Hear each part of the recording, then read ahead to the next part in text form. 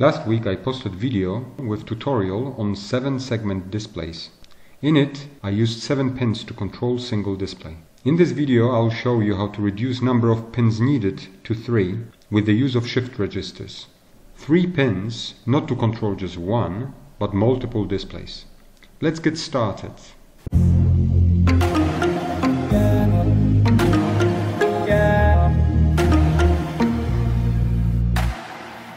Shift registers are sequential logic circuits capable of storage and transfer of data.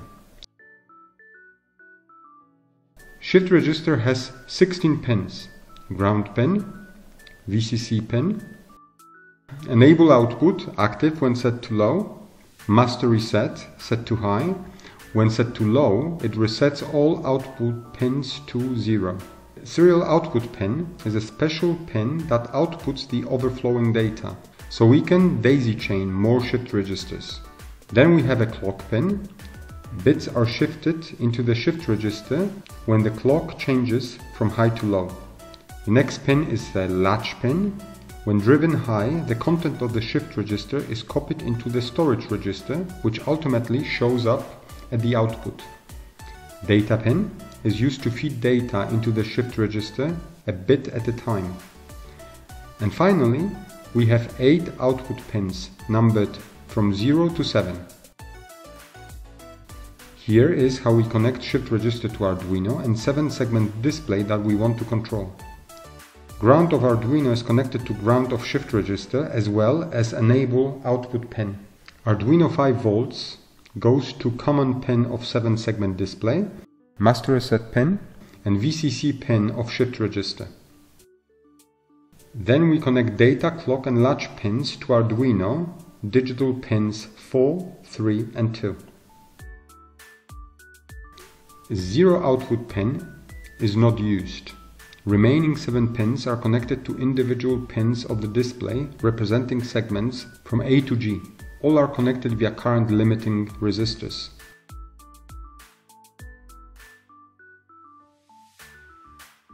Let's connect the real thing.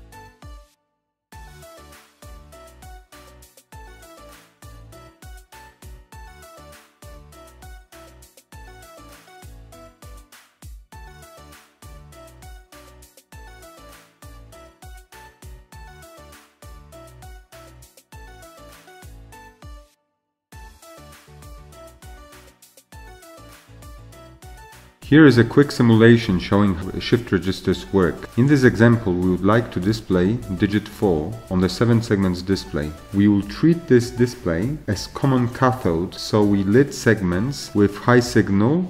At the start data, clock and latch pins are set to low. We enter segments in reverse order, so the first one is segment G. It is supposed to be on, so the first thing we do, we change data pin to high. Then, when the clock pin goes to high, value 1 is read from data pin and pushed into the storage register. The next segment F is also high, so there is no need to change the value on the data pin. We just set clock pin to low and back to high, Again the value 1 is read off the data pin and sent to the storage register.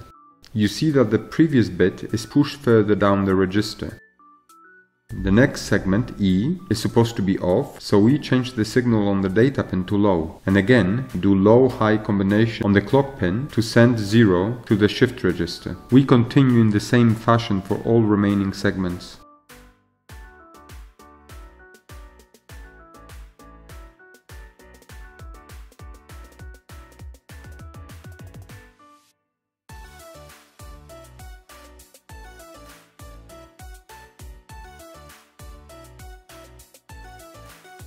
When all 8 bits are properly pushed into the storage register, we send the high signal to the latch pin. With this, all bits are output to the corresponding output pins. In my previous video, I came up with a table to store digit definition. With using shift register, we need to do small adjustment. Each digit has 7 segments, while shift register has 8 output pins. So to take this into account, we add a single column to the array, which would have obsolete values, but would make sure we address all 8 output pins of shift register. In the code, we first declare Arduino pins connected to data, clock, and latch pins of shift register. Then we declare the table storing digit definitions, as discussed allocating 8 bits for a single digit, the first bit being obsolete. In setup function we declare data, clock and latch pins as output. And finally we create a custom function display digit. We pass digit as a parameter to that function and it searches for the right bit combination of that digit. And with the right sequence of high and low signals on data, clock and latch pins, it outputs that sequence bit at a time to a shift register. Let's write a simple program in the loop function. This will test the display digit function and use it to display digit 1.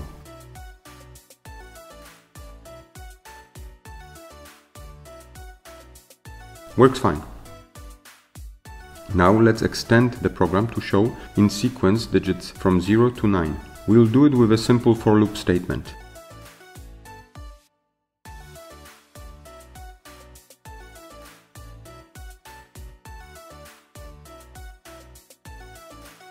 Also works fine.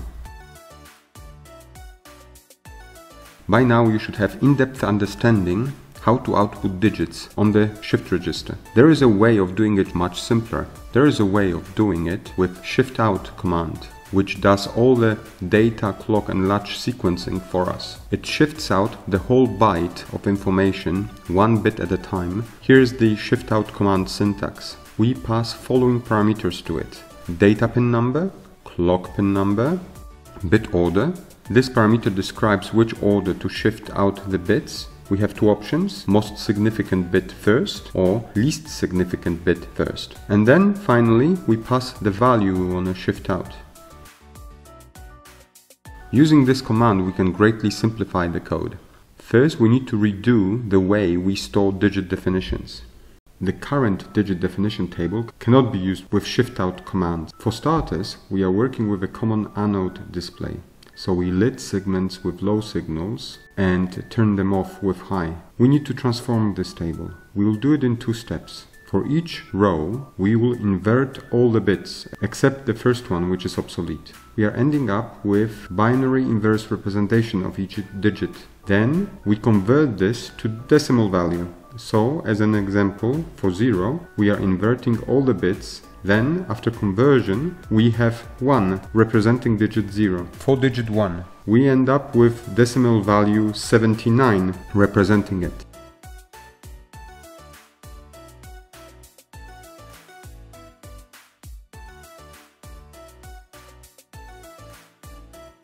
Having all 10 decimal digit representations, we construct the one-dimensional table to store them. Now we can refer to those values and send them as parameters to shift out function. Now let's go through the changes to the code when we introduce shift out command. We can drop display digit function altogether. Pins declarations are not changed. We replace two-dimension array with digit definitions with a simple one-dimensional array with decimal representation of digit. Setup function remains unchanged. Then in loop function we have a for loop that gets executed for variable uh, i value changing from 0 to 9. With each iteration we look through that digits table and find the right digit decimal representation of variable i and shift it out to the shift register. Let's see how this is going to work.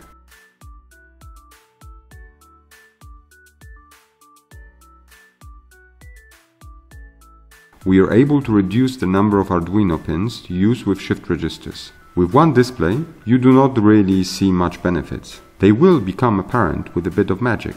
Voila! Here we have a second display, linked to the shift register.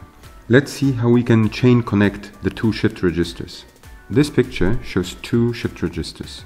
The first shift register data pin is connected to Arduino digital pin 4. Both shift registers clock and latch pins are connected to the same Arduino pins, digital pins 2 and 3. Then serial out pin of the first register is connected to the data pin of the second one. This way we daisy chained both registers and that gives us possibility of connecting more. Now imagine that we have 16-bit sequence that we want to output. Through the data pin of the first register we pushed it into the register. When the first register fills up, through serial out pin it starts pushing the data to the other register. When all 16 bits are pushed into the shift register, we can change the signal on the latch pins from high to low to send the whole 16 bits to the output pins of the shift register.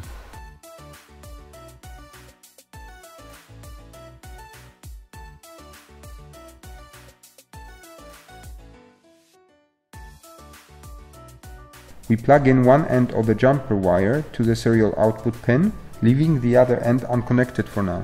Let's see what's going to happen if we execute the code we created previously for displaying sequence of digits from 0 to 9. It works the same way, displaying sequence of digits on the first display. But what's gonna happen when we connect the loose end of the jump wire to the data pin of the second shift register?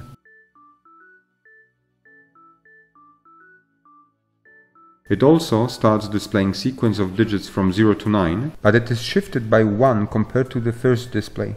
E.g. when the display shows 1, the second one shows 0.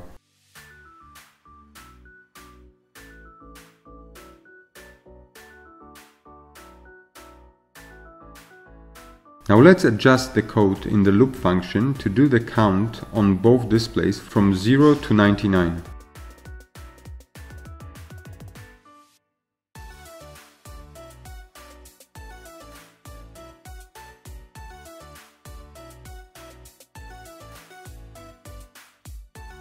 Works fine.